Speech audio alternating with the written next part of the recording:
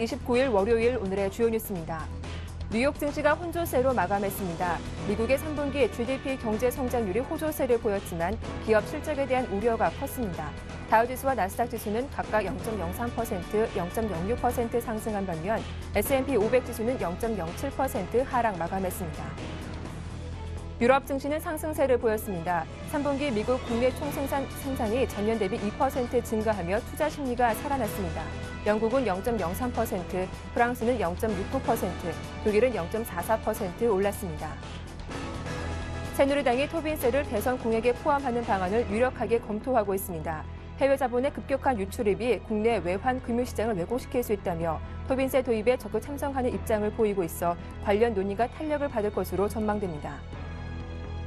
글로벌 경기 침체로 3분기 국내 상장사의 80%가 어닝 쇼크를 기록했고 전체 영업이익도 한 달 전 추정치보다 1조 3천억 원이나 줄어든 것으로 나타났습니다.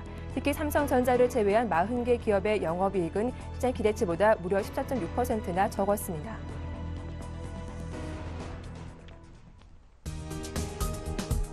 안녕하세요. 굿모닝 대박 예감 박미라입니다. 주말 사이 가을비가 내려오니 기온이 많이 쌀쌀해졌습니다. 이번 주 기온이 더 떨어진다고 하니까요. 두툼한 외투 함께 준비하시면 좋겠습니다. 자, 이번 주는 월 말과 월 초가 겹치면서 주요한 경제 지표들이 발표를 앞두고 있습니다. 특히 지난 금요일 뉴욕 증시는 혼조세로 거래를 마쳤죠. GDP 호재에도 불구하고 기업들의 부진한 실적이 발목을 잡으면서 S&P 500 지수만 약 보합권의 거래를 마치기도 했습니다. 자, 이번 주 국내 증시 다소 부담스러운 월요일을 맞이하게 됐는데요. 지난주 금요일 급락분을 만회할 수 있을지 오늘장 전망과 자세한 대응 전략 함께 살펴봐 드리도록 하겠습니다. 굿모닝 대박 예감 2부 순서 지금 바로 출발합니다.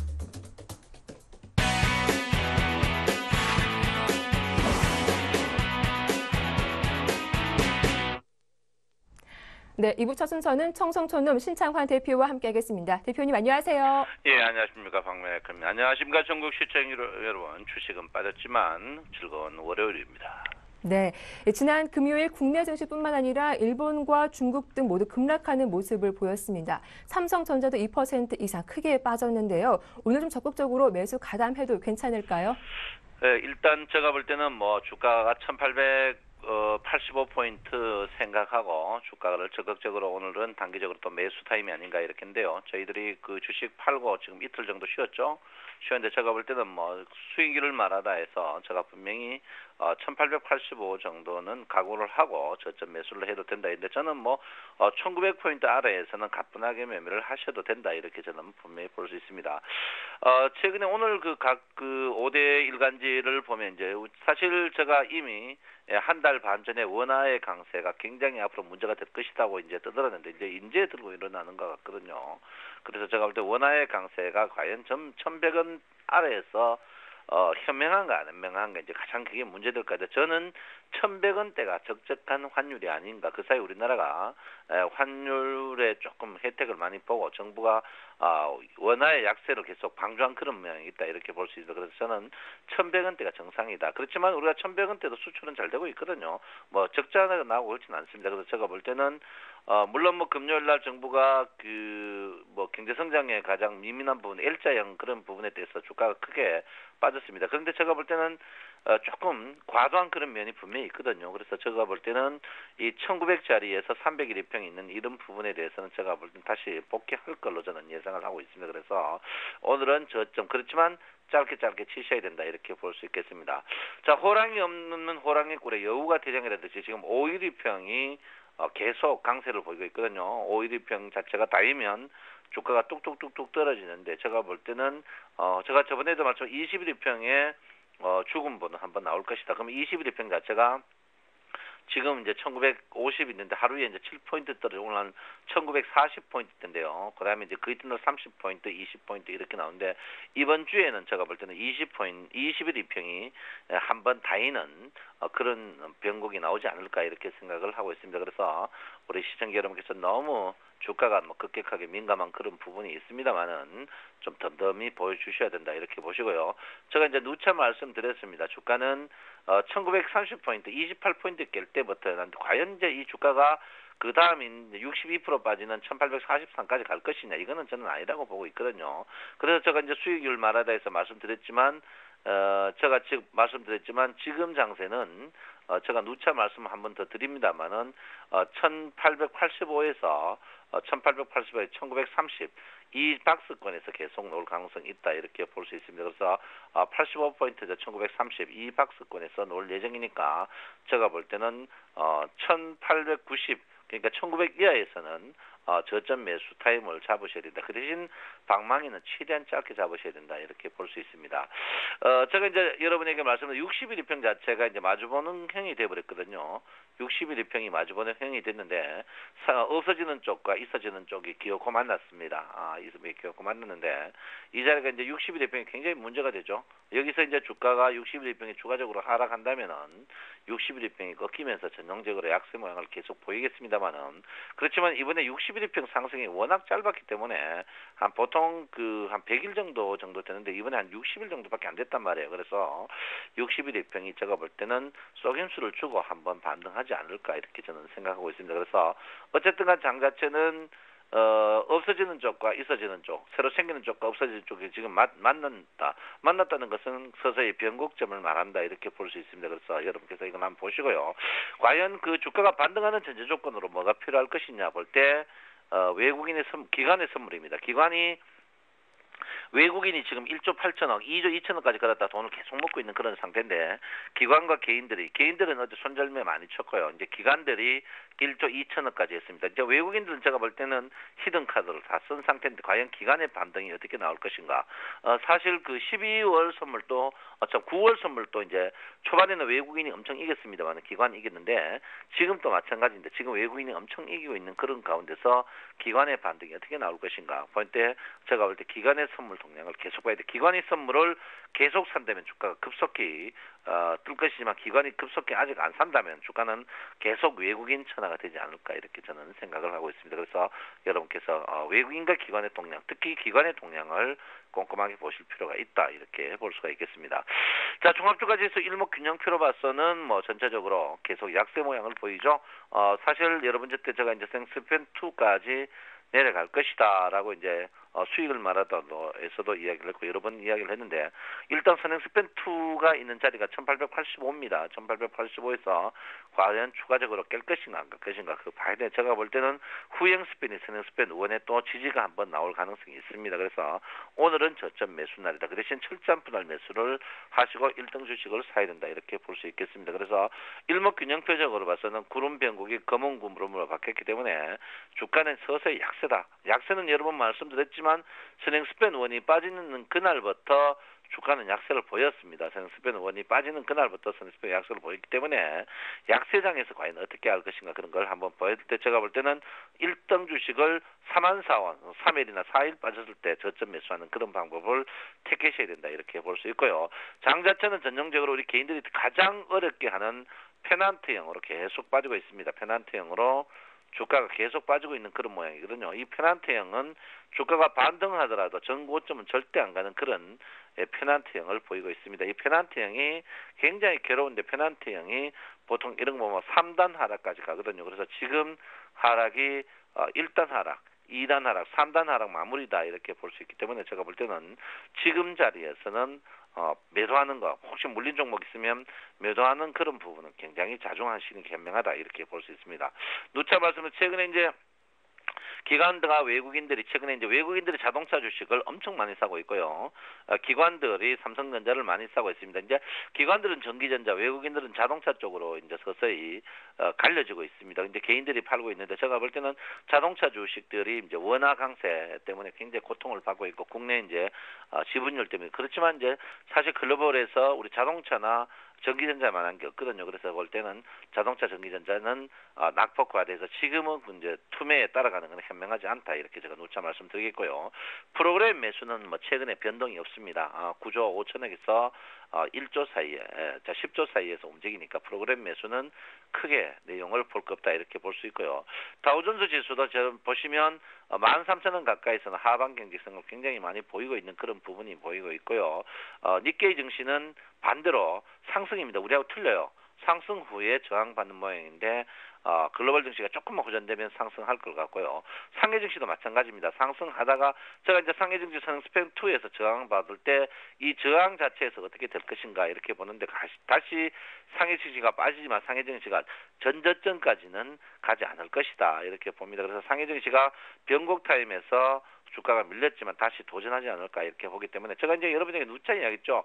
상해 증시의 주가가 종가 우리나라 주가의 주식의 종가를 계속 이룰 것이다 이렇게 했는데 제가 볼 때는 이는 오늘은 장자체가 일단 반등하지 않을까 이렇게 보기 때문에 우리 신센식 증기업계 너무 염려 안 하셔도 된다 이렇게 제가 분명히 말씀을 드리겠습니다. 선물이 요즘 굉장히 어렵죠. 어, 선물이 어제 이제 종합주가 지수가 빠지지 않았는데 선물 증시는 어제 많이 빠지는 그런 모양을 보였습니다. 제가 누차 말씀드렸지만 선물은 250대 아래 가면은 어, 매수하려고 하는 사람들이 굉장히 포진대가 있다 이렇게 있는데요. 제가 볼 때는 지금 자리에서 풋은 굉장히 조심하셔야 됩니다. 어, 선물이 보통 꼭지에서 저점까지 보통 어, 20 정도 나오거든요. 선물 한 그 포지션 한 분기마다 20 포지션 정도 나옵니다. 20 포지션 나는데 이번에 꼭지가 여러분 보다시피 265 무게 중심에서 그러면 245거든요. 그러면 지금 상태에서 선물을 신규 매도는 어, 화약을 갖고 집을 가는 그런 모양이다 이렇게 봅니다. 그래서 여러분께서 굉장히 좀 어, 조심할 필요가 있다. 오늘은 절대 풋을 조금 자제하는 게 좋다. 제가 말하는 건 장기 풋을 말합니다. 자제하는 게 굉장히 좋다 이렇게 보시고요. 오늘은 제가 볼 때는 아마 그 콜장이 아닌가 이렇게 봅니다. 그래서 여러분께 굉장히 조심할 필요가 있는 그런 부분이다 이렇게 보시고요. 종목별로 보면 뭐 이번에 어제 그저께 이제 모든 종목이 유엘이 낭자했죠. 유엘이 낭자합니다. 유엘이 낭자했는데 그 중에도 여러분 보다시피 이제 쇠 관련 주식들하고 이제 근로자 관련 이런 부분에서 굉장히 어, 약세고 그 반면에 이제 어, 한국전력이라 내수 관련 종목들이 굉장히 강세를 보였습니다. 그래서 제가 누차 말씀드렸지만 원화 강세와 어, 달러화 약세 이 부분에 대해서 포인트를 맞추라고 제가 이제 여러분 저때 거의 두 달 전부터 얘기했는데 최근에 이제 왜 내수 종목 쪽으로 굉장히 강합니다. 그렇지만 지금은 내수 종목이 저는 아니라고 본다. 왜 원화 강세가 추가적으로 강세 보이기는 그렇고 또 정부도 어, 수출 드라이브 정책을 걸기 위해서는 어, 원화 강세를 더 용, 용인하지 않을 것이다 이렇게 봅니다. 그래서 제가 볼 때는 적정이 1,100원에서 1,150원이 아닌가. 1,100원이 깨졌는데요. 어, 제가 볼 때는 지금 자리에서는 좀 굉장히 조금 어, 원화 강세 종목을 조금 조심할 필요가 있는 그런 부분이 아닌가 이렇게 생각합니다. 아무쪼록 오늘은 다른 거 볼 필요 없습니다. 오늘은 어, 기관과 외국인의 선물 동향, 그다음에 중국 증시 이 두 개만 보면 모든 것이 포인트가 맞춰지지 않을까 이렇게 생각하고 있고요. 이번 주에 제가 볼 때는 여러분 어, 일단은 상, 주초에는 어느 정도 강세를 보일 가능성인데 5일 이평이 다이는 그 시점에서 변곡점이 나오지 않을까 생각하고요. 이번 주 금요일 날 아주 큰 변곡점이 예상되고 있습니다. 이번 주 금요일 날 아주 큰 변곡점이 예상되고 있는데 그 변곡점에서 여러분이 어떻게 움직일 것인가 한번 봐야 된다 이렇게 보고요. 금요일 날 여러분 어, 한번 대비하시면 참, 뭐 금요일 날 한번 꼼꼼하게 대비하셔야 된다 이렇게 보시고요. 여러분 시황 더 상세한 시황은요 어, 수익을 말하다 다시 보기에 분명히 나와 있습니다. 거기서 보시면 꼼꼼하게 되고 오늘은 다른 거 볼 필요 없습니다. 외국인과 기관의 동향, 선물의 동향 그리고 중국 증시 세 개만 보면 포인트가 꼼꼼하게 되지 않을까 이렇게 생각합니다. 여러분 월요일이고 어, 10월의 마지막 주입니다. 내 마음 아시죠? 사랑합니다. 청송촌놈 신창원입니다. 예, 오늘은 반등을 기대해 볼 수 있겠다. 그리고 외국인과 기관의 선물 동향과 중국 증시 흐름 잘 체크해 보자라는 말씀 들어봤습니다. 지금까지 청송촌놈 신창환 대표와 함께했습니다.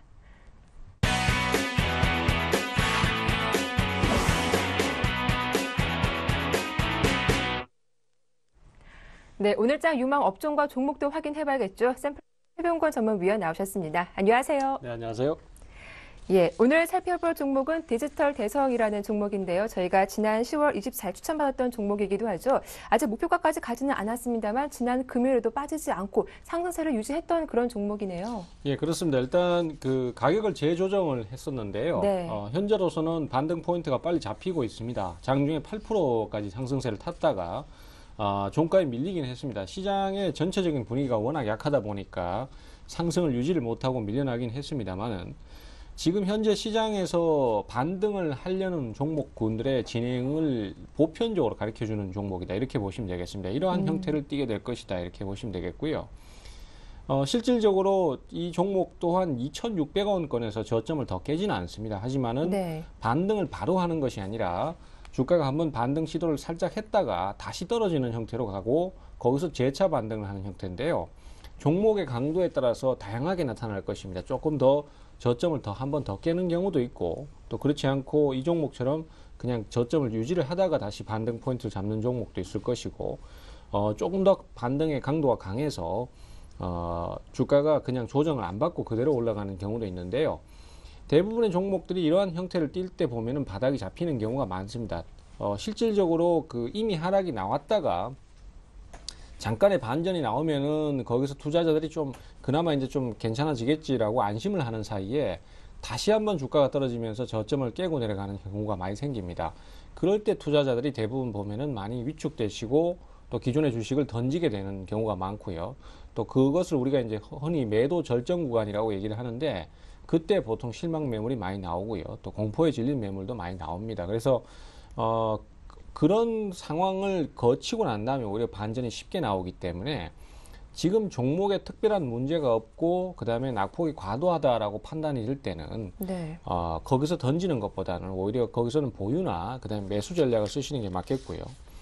이 디지털 대선 같은 경우에도 지금 그 주가의 진행은 비록 조정을 많이 받고 이제 최근에 반등세를 타기 시작했습니다만은 흐름 자체는 아주 정상적입니다. 사실 어, 지나고 나면은 별게 아닌데 그 당시에는 상당히 괴로운 게 사실이고 또 추격 매수를 했을 땐 더 힘든 게 사실인데 이러한 과정들이 있어야지만 이 종목들이 또 수급적으로 여유 있게 올라갈 수 있는 부분이 분명히 있거든요. 따라서 디지털 대선 같은 경우에도 추세가 죽은 상태도 아니고 네. 또 상승의 초입 구간으로 중기적으로 볼 수는 중기적으로 볼 때는 초입 구간이라고도 볼 수 있기 때문에 어, 뭐 적극적으로 보유를 해서 들고 넘어가는 전략이 필요할 것이고요. 전고점 저항만 좀 주의를 하시면 될 것 같습니다. 네. 특히 지난 금요일 일장 뭐 코스피 코스닥 급락이 나와서 투자 심리가 상당히 많이 위축된 것 같은데요. 오늘 어떤 포인트를 잡고 접근해 봐야 할지 궁금합니다. 예, 오늘은 역시 네. 아무래도 큰 시장의 이슈가 가장 큰 게 역시 낙폭 과대이겠습니다. 네. 낙폭 과대를 지금 가지고 있는 종목들이 굉장히 많습니다. 특히 어, 연속적인 급락을 한번 하고 난 다음에 거기서 다시 한번 반등세를 잠깐 타다가 또 다시 한번 떨어지는 경우가 지금 많이 생기고요. 뭐 흔히 투자자들이 이제 기존의 하락이 많이 나왔다라는 것을 잊어버리고 다시 한번 그 하락이 나올 때 어, 추가적으로 계속 떨어질지도 모른다는 공포감에 휩싸여서 주식을 투매 형식으로 던지는 경우가 제일 많이 생기는데요. 그럴 때 보통 보면은 매물에 공백이 생기고 매수가 쉽게 들어오기 좋은 그런 위치를 가지기 때문에 그날 당시만큼은 좀 힘들지만은 차라리 그때는 저가 매수를 대응하는 편이 낫습니다. 지금 특히 이제 코스닥 시장 같은 경우가 그런 모습들을 많이 보여주고 있는 상황인데 시장 자체가 애초에 그런 형태로 좀 많이 떨어지다 보니까 과매도에 대한 부분에 리스크 그 매수 메리트가 생기고 있습니다. 그래서 어, 지금은 추격 매도보다는 어, 저점 매수로 대응을 하시는 편이 좋겠고요. 네.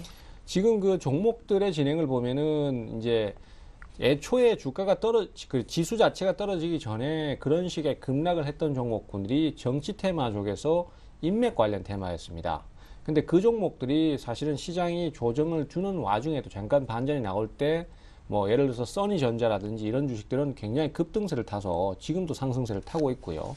또 상한가를 네 번이나 치고 어, 아직도 상승세를 유지를 할 정도로 상당히 급등 형태의 진행- 진행을 보이고 있습니다. 그리고 뭐 우리들 생명과학 같은 경우에도 역시 마찬가지고요. 네.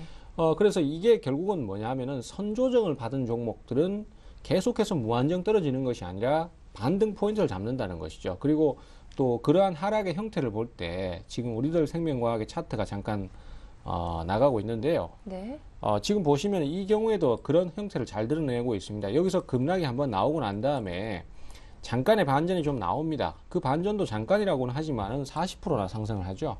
그래서 이제 좀 계속해서 살아나는가 싶었는데 다시 한번 주가가 급락을 하면서 어, 소위 말해서 이제 매도의 절정 구간이 나오는 거죠. 그러면 여기 이 하락하는 구간에서 대부분 투자자들이 어, 자포자기를 하거나 아니면은 매수 대응을 아예 엄두도 못 내는 그런 대응을 가시게 되는데 실제로는 이것이 우하향으로 가는 역배열 상태의 어, 장기 하락 형태가 아니고 추세가 아직 살아있는 상태이기 때문에 어, 여기에서 그 매도 절정 구간이 나오고 난 다음에 오히려 주가가 단기간에 급등세가 나오는 그런 형태가 나오고 있습니다. 여기서 상승이 거의 지금 70%에 육박하고 있거든요. 네. 그래서 이런 부분들을 봤을 때 우리 투자자들께서 사실 급락이 나왔을 때 기회가 제일 많이 생기는 것을 감안한다라면은 지금의 기존의 하락이 나오는 종목들도 네. 그렇게 해서 기회를 포착하셔야 되지 않겠나 이렇게 음. 판단하고요.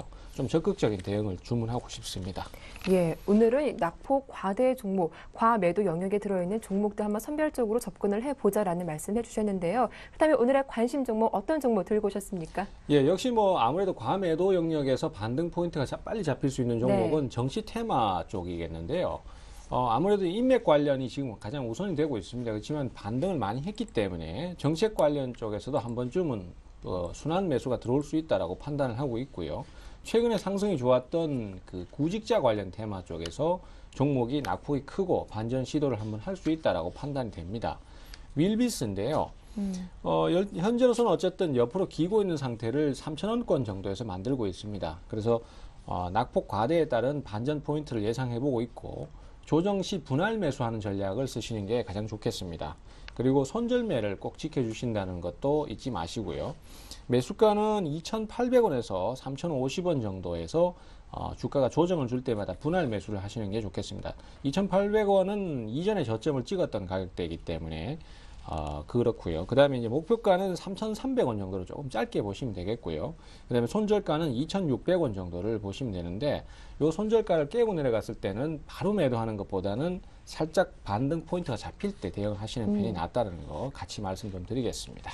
네, 그동안 낙폭이 컸던 윌비스 오늘 좀 관심을 갖고 대응해 보자라는 말씀 잘 들었습니다. 지금까지 샘플러스 최병권 전문위원과 함께했습니다. 도움 말씀 고맙습니다. 네, 감사합니다.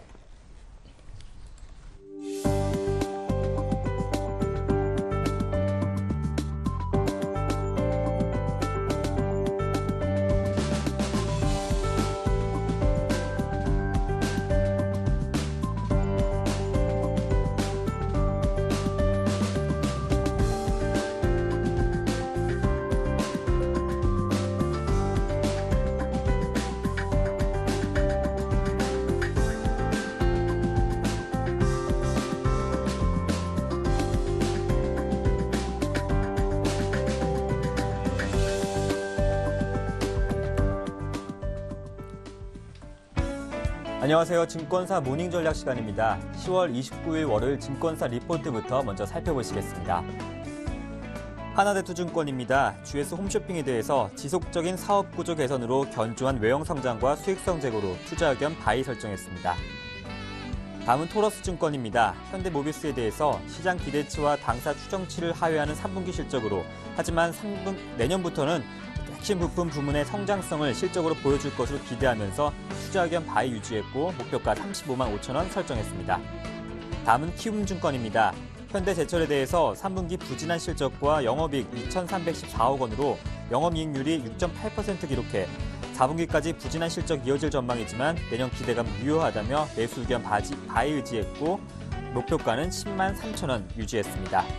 다음은 현대증권입니다. KB금융에 대해서 투자 의견 buy 유지했습니다. 3분기 순이익이 4,101억 원으로 25% 감소했지만 당분간 실적보다는 ING 생명 인수 성공 여부가 주가에 중요할 것으로 판단하며 목표 주가 5만 5천 원 설정했습니다. 다음은 한국투자증권입니다. KT 스카이라이프에 대해서 buy 의견 유지했습니다. 가입자 증가와 실적 개선 순환 구조가 확립됐으며 이익 영업이익 개선율은 개선될 추세라며 목표 주가 3만 6천 원 제시했습니다. 네, 지금까지 증권사별 리포트를 살펴봤습니다. 하나대투증권 연결해서 오늘장 전략과 신규 편입 종목에 대해서 자세한 이야기 나눠보겠습니다. 하나대투증권 임진수 대리님 안녕하십니까? 예, 안녕하십니까. 네, 오늘장 전략 세워주시죠. 예, 일단 큰 틀에서 볼 때 그 7월 말 이후 시작된 안도랠리가 그 재정 위기가 지속되고 있는 가운데 경기 둔화 우려 또 그 재정 절벽 우려가 더해지면서 그 랠리의 동력을 상실하고 하락하고 있습니다. 하지만 추가적인 가격 조정은 어떤 절대적인 저평가 영역으로의 진입을 의미한다는 점에서 과도한 우려가 있다 이렇게 생각이 되고요. 일단 그 근거로는 두 가지인데요.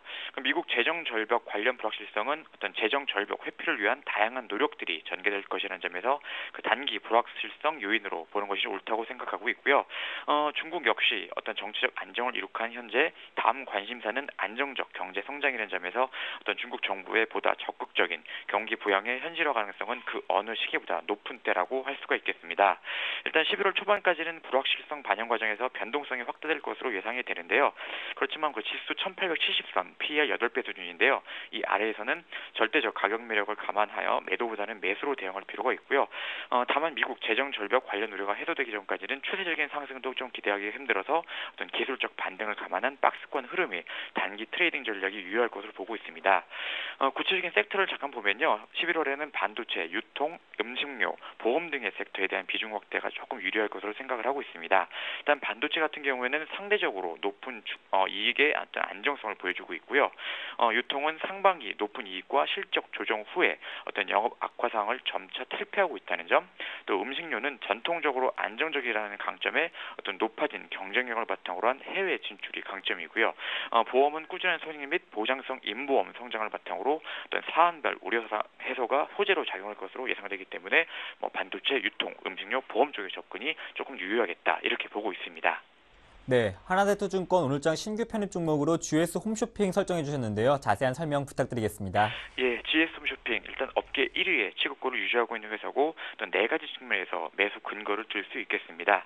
어, 첫 번째는 그 정수기 등 신규 상품 카테고리 카테고리 렌털 부분의 성장으로 하반기 실적 모멘텀이 회복돼서 뭐 3분기 실적뿐만 아니라 4분기까지도 좋을 것으로 예상하고 있고요.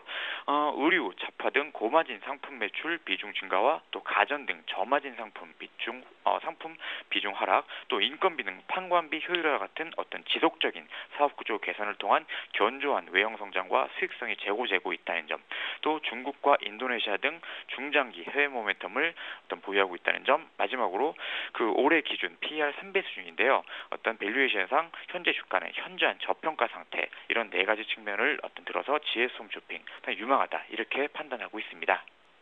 네, 고맙습니다. 말씀 잘 들었습니다. 예, 감사합니다. 네, 지금까지 임진수 대리와 함께 하나대투증권 오늘장 전략과 신규 편입 종목 살펴봤습니다. 저는 내일 아침 뵙겠습니다.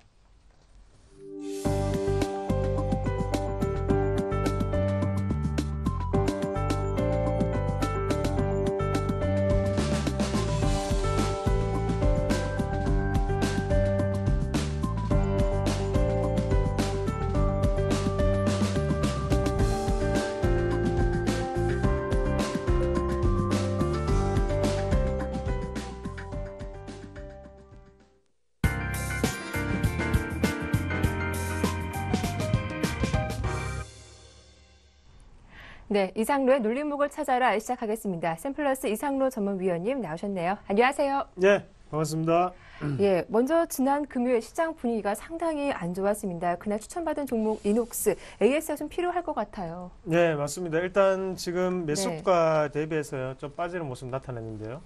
어, 일단 지금 같은 거 일단 같이 차트를 보면서 말씀을 좀 드려야 될 것 같습니다. 네. 어, 일단은 이녹스를 추천했던 가장 큰 이유는 뭐 차트도 일단은 중요하겠지만 뭐니 뭐니 해도 좀 실적이었죠. 그래서 음. 지금 같은 경우에는 이녹스 같은 경우에는 코스닥 기업 중에 어느 정도 좀 빠른 실적을 좀 발표를 했었는데요. 그만큼 실적적인 부분이 안정되고 난 다음에 추천을 드린 거고요. 그래서 어, 일단 금요일 같은 경우에는 시장의 분위기가 비슷한 형상으로 좀 하락하는 분위기 나타냈습니다. 어, 근데 지금 같은 경우에는 어, 저는 조금 더 사야 되는 시기가 아닌가 그렇게 좀 말씀을 좀 드리겠습니다. 어, 왜 그런 말씀을 좀 드리냐 하면요. 일단은 뭐 다른 차트와 좀 비교를 해서 같이 보시면 좋겠는데요. 네. 어, 삼성전자 같은 경우에 제가 이것도 지금 요게 쌍바닥 패턴이 나오는 과정이라고 말씀을 드렸거든요. 그래서 그 전에 우리가 여기 확대해서 좀 보시면 일단은 여기 갭 상승과 갭 하락이 있었습니다. 하지만 갭 자체를 없애고 난 다음에 어, 우리가 음봉과 양봉으로 한번 따져서 한번 계산해 보시면 이것도 맨 마찬가지로 지금은 큰 음봉이 떨어지고 난 다음에 다시금 반등이 크게 올라가는 모습이거든요. 그리고 어차피 여기서 다시 올라갈 때도 큰 양봉이 나온 거나 마찬가지란 말이에요. 그렇게 계산을 하게 되면 이녹스 같은 게- 경우에도 단기적인 패턴으로 한번 보신다면 지금 같은 경우에는 큰 폭의 하락이 있었죠. 하락이 있고 난 다음에 다시금 올라오고 다시 내려왔다가 어, 지금 같은 경우에 약간 뜬 눌림목 그런 느낌으로 지금 가고 있다. 그렇게 좀 말씀을 드릴 수 있겠고요. 그리고 처음에 말씀드렸던 그것과 마찬가지로 왜 제가 손절가를 19,300원을 말씀을 드렸냐면 네. 그 전에 바닥 자체가 단기적인 경우에는 19,300원 형성이 되어 있습니다. 그렇기 때문에 지금 같은 경우에는 좀 더 추가적인 어, 매수의 관점을 좀 접근하시면 단가 조절을 할 수 있는 계기가 아닌가 그렇게 좀 말씀을 드릴 수가 있겠고요. 왜 그렇게 베팅을 좀 제가 말씀을 드리냐면 기본적인 이유는 일단은 실적이죠. 그래서 실적적인 분위기 자체가 지금은 3분기에 실적이 상당히 긍정적으로 발표가 됐습니다. 그래서 매출을 그 보시더라도 35.3%가 증가했는 경우고요. 그렇기 때문에 지금은 추가적인 상승이 분명히 가능하지 않겠나 그렇게 네. 보시면 좋겠고 그리고 업황 자체 같은 경우에도 삼성전자의 호실적 자체가 4분기에도 이어질 확률이 상당히 높기 때문에 거기에 대해서 이녹스는 지금의 주가 자체는 조금 빠지긴 힘든 가격대가 아닌가 그리고 지금 애널리스트들 같은 경우에도 어, 일단 목표 주가를 3만 원으로 상향을 시켰습니다 하지만 지금 주가는 도리어 빠지는 상태고요 어, 3만 원을 비교해 보시면 지금은 아직까지 어, 1.5배 낮은 주가 수준을 유지하고 있는 상태고 그렇게 좀 생각을 하시고 지금은 무리 없이 조금 우리가 눌림목 공략을 하는 만큼 네. 어, 좀 더 사셔야 되는 구간이 아닌가 음. 그렇게 말씀을 드리겠습니다. 그럼 이녹스 손절가는 19,300원 그대로 유지하시는 거죠? 네, 맞습니다. 19,300원 그대로 유지하시면 되고요. 네. 대신에 지금은 조금 더 사자 그렇게 좀 음. 말씀을 드릴게요. 네, 손절가를 터치하지 않는 한에서 분할 매수 한번 해보자라는 말씀해 주셨습니다. 자, 이어서 오늘 살펴볼 눌림목 공략 종목 어떤 종목입니까? 예, 뭐 최근에 계속적으로 이슈가 되고 있는 어, 윈도우 8에 대한 수혜주죠. ELK에 네. 대해서 좀 말씀을 드리겠는데요. 어, ELK 같은 경우에도 제가 차트적으로 좀 보고 좀 말씀을 드려야 먼저 드려야 될 것 같습니다. 어, 일단 차트적으로 한번 해석을 한번 해보시면요. 어, 지금 같은 경우에는 또 다른 박스권 상단에 지금 좀 위치해 있는 단계라고 좀 말씀을 드릴 수가 있겠습니다. 어, 저는 우선적으로 일단 거래량을 시청자분들이 가장 쉽게 알 수 있기 때문에 그 부분을 통해서 좀 말씀을 드리면 일단 최근에 거래량 자체가 2011년에 상당한 거래량이 좀 나왔습니다. 하지만 어, 상승에 비해서 하락할 때는 거래량이 없이 내려오고 있죠. 그러고 난 다음에 거래량 자체가 기하급수적으로 죽고 난 다음에 다시금 저점에서 어느 정도 물량 자체를 모아가는 과정이거든요. 그러고 네. 난 다음에 어, 다시 1년 있다가 다시 또 그 가격대 22,000원까지 올라왔죠. 그래서 지금 상황에서 어, 일단은 이 거래량 자체를 뭐 상승하는 거래량인지 하락하는 거래량인지 구별하는 방법이 가장 중요한데요. 지금은 시장의 분위기로 봐서는 조금 상승할 수 있는 거래량이라고 좀 생각을 해보고요.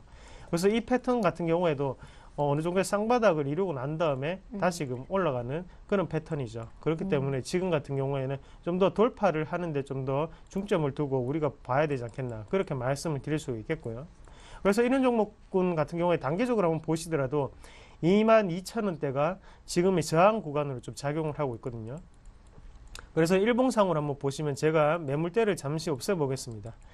없애서 한번 같이 보시면 지금 같은 경우에는 계속적으로 22,000원대를 지금 세 번째 지금 지지를 하고 난 다음에 올라가는 패턴이거든요. 그래서 음. 지금 일단 이격도가 상당히 좀 벌어져 있습니다. 20일선하고요. 그 부분을 제외하고는 지금 11선과 5일선이 맞물리는 자리, 지금 자리에서는 한번 좀 어, 상단으로 좀 뽑아줄 자리가 아닌가 그렇게 조금 예상을 해보고요. 그래서 한번 우리가 지금은 매수가로 한번 보시는 가격대는 22,300원 정도로 조금 생각을 하시면 좋겠다.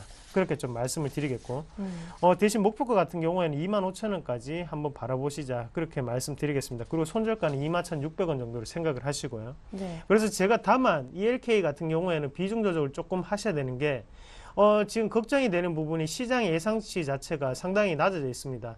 어, 그만큼 ELK가 매출액 자체가 3분기에는 그렇게 큰 효과를 얻지 못할 수도 있다는 말이 되겠죠. 그런 부분 자체는 약간의 비중 조절은 조금 필요하셔야 된다. 그리고 왜 그런 말씀을 드리냐면 일단은 지금 시장의 분위기를 좀 보셔야 되는데요. 지금 테마주 일변도로 조금 가고 있는 코스닥 시장이죠. 네. 하지만 그런 분위기 자체는 곧 역전이 될 수 있습니다. 어, 일단 미국 증시를 한번 보셔야 되는데 미국 증시 같은 경우에도 경제 지표보다도 기업의 실적이 어, 우선 중요도를 좀 차지하고 있죠. 그만큼 그만 미국 경 미국의 증시 자체는 지금 어느 정도 실적에 대해서 좀 움직인다고 좀 보셔야 되는 거- 경우고요. 네. 그 흐름 자체가 지금 코스피나 코스닥에도 그대로 나타날 수 있는 경우고요. 그래서 지금 음식 업종이 조금 선방하는 것도 내수주가 조금 선방하는 경기 방어적인 성격도 있겠지만 어느 정도 실적에 대해서 좀 기인한다고 좀 생각을 하셔야 되는 경우고요.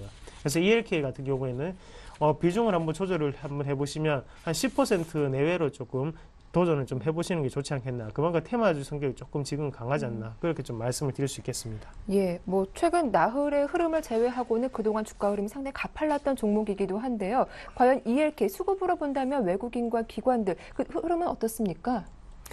어, 예, 수급적인 네. 부분을 한번 보신다면 일단은 그 전에 기관에 상당한 매수세가 좀 보였습니다. 네. 그래서 10월 달 초순까지만 하더라도 기관의 매수세가 상당히 보였고요.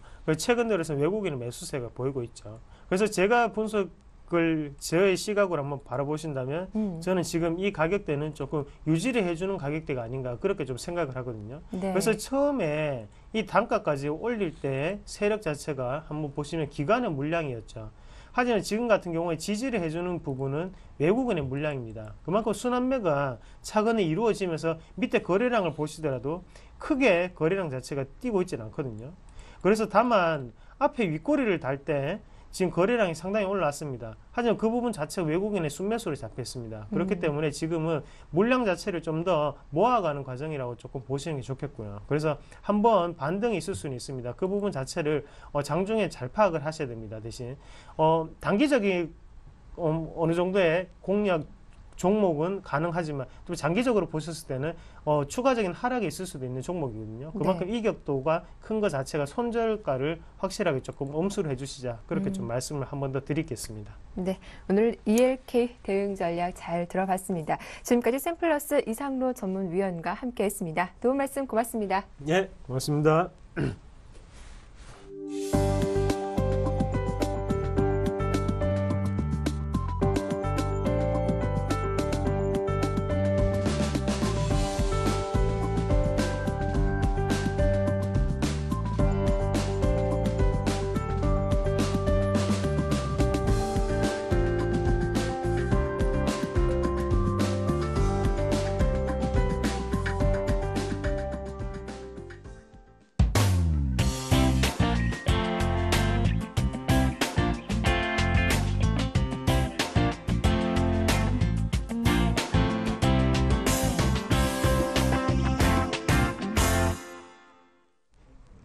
네, 청개구리 사단의 오늘장 대응 전략 시작합니다. 먼저 샘플러스 양순모 전문위원 만나보죠. 안녕하세요. 네, 안녕하십니까. 양승모입니다. 예, 벌써 10월의 마지막 주가 됐습니다. 오늘 개장을 한 30분 정도 앞두고 있는 상태인데요. 반등 기대하는 목소리가 높습니다. 오늘장 체크 포인트 어떤 점들이 있을까요? 네, 오늘은 어, 일단 뭐 미국 쪽 이야기부터 먼저 시작을 해야 될 것 같습니다. 일단 네. 미국 증시 같은 경우에는 지금 센, 어, 북, 미국 북동부 지역에서 이제 북 상하고 있는 이제 초강력 허리케인에 음. 대한 샌디에 대한 그 비상 이야기들이 나오면서요. 어, 장내 거래가 일단 중단될 것이다. 그래서 하지만 전자 거래만 일단 가능하도록 어, 일단 진행이 될 것이다라고 이야기를 했는데요. 결국 모두 29일 하루 장내 거래를 모두 중단한 어, 하되 이후 이제 샌디의 영향력과 그에 따른 피해 상황 등을 토대로 이제 장내 거래를 재개하는 그 일자는 이제 발표한다라고 이렇게 이야기가 나왔습니다. 어, 일단 뭐 다음으로서 우리 지난주에 가장 큰 이슈였던 어, 환율이 1,100원을 이제 붕괴가 되면서 이제 뭐 IT와 운수 장비 업종들이 변동성이 상당히 크게 나타났다 이렇게 보여줄 수가 있겠는데요. 지금 이제 환율을 이제 놓고 봤을 때 이제 이상하다. 뭐 경기가 안 좋고 또 기업 실적도 부진하다고 아우성인데 원화에 대한 가치가 오히려 상승하고 있습니다. 여기에 이제 뭐 기술적으로 놓고 봤을 때 환율이 추가 하락 가능성이 일단 무게를 좀 더 두고 있고 또 여기서 원화 가치에 대한 상승은 수출 중심의 산업 구조를 가진 이 한국 경제에서 부담이 될 수밖에 없을 것입니다. 그래서 이제 금융시각 일각에서는 뭐 상장 기업들이 뭐 경쟁력이 악화로 이어져서 증시에 부담을 줄 것이다라는 이런 우려감도 있지만 원화 가치의 상승의 원인은 결국에는 달러 값 하락이라는 상대적 이유라는 것도 있습니다. 결국에서 결국은 한국 경제의 경쟁력이 그만큼 탄탄하다라고도 볼 수가 있을 것 같고요. 또 지난 주말 뉴욕 증시가 혼조세 마감을 하면서 이렇다 이제 호재는 없지만 지금 자리에서는 지나치게 겁먹을 필요도 없다라고 이렇게 보여집니다. 국내외 이제 그 경제 지표와 또 기업 실적을 따져보고 또 증시 방향성을 봐도 늦지는 않다라고 보여지고요. 또 이번 주에 있을 미국 소비 지표와 또 고용 지표에 대한 발표, 또 유로존 재무장관 회의에 우리가 좀 주목을 해봐야 될 것 같은데요. 결론적으로는 뭐 당분간 원화 강세가 지속되는 만큼 우리 증시의 트렌드도 아직까지는 IT와 운수 장비에 대한 변동성을 좀 놓고 보시되 어, 현재 코스피는 제한적인 기술적 반등을 좀 볼 수가 있을 것 같습니다. 우선 좀 차트를 보면서 설명을 좀 드리겠는데요. 지금 자리에서 이제 1,900포인트가 어, 전에 금요일 기준으로 이제 이탈 붕괴가 되는 흐름들이 나타났었죠. 그래서 지금 자리에서는 일단 1,880포인트를 기준으로 일단은 하단 경직 자리, 하방 경직 자리라고 말씀을 좀 드리겠고 상단 자리까지로 봤을 때는 1,980포인트까지는 추가 상승이 일단은 가능한 그런 시나리오로 보이고 있습니다. 결국에는 지금 우리 국내 증시에서 보여주고 있는 수급 동향을 놓고 봤을 때 외국인들이 뭐 지속적인 뭐 매도 반면 뭐 기관 투자들은 뭐 관망세를 보여주고 있고요. 또 여기서 개인들은 지속적인 뭐 매수 우위를 또 보여주고 있다라는 거. 또 여기서 선물 쪽에 대한 동향을 봤을 때 외국인들은 지속적인 매도, 기관 투자들과 개인 투자는 매수. 아마 이게 그 수급 불균형이 좀 나타나면서 시장에 아직 방향성을 못 보여주고 있다는 점과 아직 뚜렷한 수급 주체가 없기 때문에 기, 제한적 기술적 반등 가능성만 놓, 어, 두고 보시면 될 것 같습니다. 우리 이제 지난주 금요일 날에 뭐 종가상으로 마이너스 한 1.7% 정도 빠졌지만 특비기상이 뭐 발생됐던 부분들은 없었고요. 오히려 삼성전자에 대한 시, 어, 실적 발표로 인해서 차익 실현 매물들이 좀 많이 나왔다라는 점.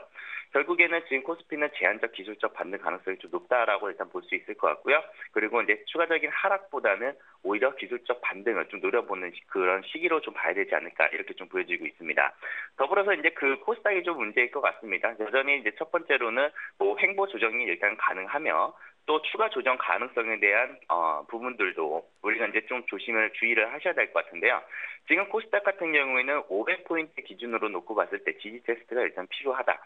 어, 개인적인 수견으로는 한 500포인트를 한번 이탈을 시켜놓고 거래량을 상, 어, 거래량을 좀 증가시키는 이런 흐름들이 좀 나올 것으로 좀 보여지기 때문에 어, 거래량이 뭐 받쳐지고 받쳐지지 않거나 또 뚜렷한 수급 모멘텀이 없을 경우에는 어, 추가 하락도 일단은 염두를 해봐야 한다. 어, 뭐 이런 말씀을 좀 드리면서 지금 자리에서는 뭐 코스피 어, 환율 민감주 그러니까 경기 민감주들 위주로 일단은 아, 언제 반등이 나오고 어디서 뭐 뚜렷한 수급 주체가 뭐 외국인이 나타나는가 혹은 기관 투자들이 나타나는가 그런 여부들을 좀 체크를 하면서 오히려 지금 코스닥에 대한 그 코스피와 이제 그 이격 간격들을 한번 좀 체크를 하시면서 접근하시면 좋을 것 같고 결론적으로 이제 결론부터 좀 말씀을 좀 드려보자면은 코스피는 일단 제가 낙폭과대 종목들 반등 나오는 타이밍을 한번 노려보자라고 이야기해드렸었는데요. 여전히 좀 유, 유효하다라고 말씀을 드리면서 이번 주는 좀 증권주들도 한번 관심 있게 한번 보면서 어, 이번 주에 대한 어, 뭐 대응 전략을 좀 한번 말씀을 좀 드려봤습니다.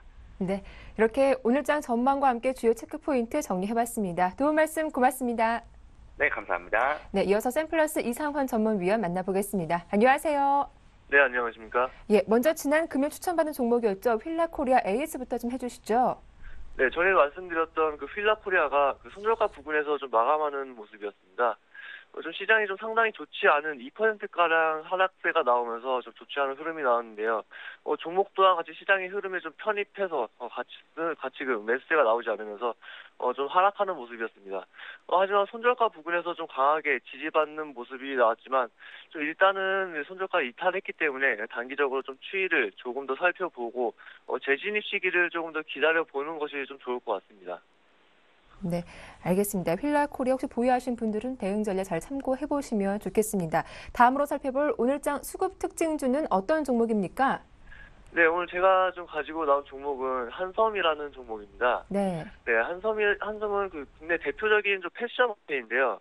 이제 곧 성수기가 다가오고 있죠. 그 3분기 실적이 그렇게 나쁘지는 않았지만 크게 좋은 흐름이 나오지는 않았기 때문에 그 4분기 성수기에 대한 그 기대감 있고 기본적으로 의류 단가는 그 여름 옷보다는 겨울 옷이 좀 높기 때문에 이런 것들에 대한 그 기대감이 좀 서서히 반영될 것으로 보이는 부분이고요.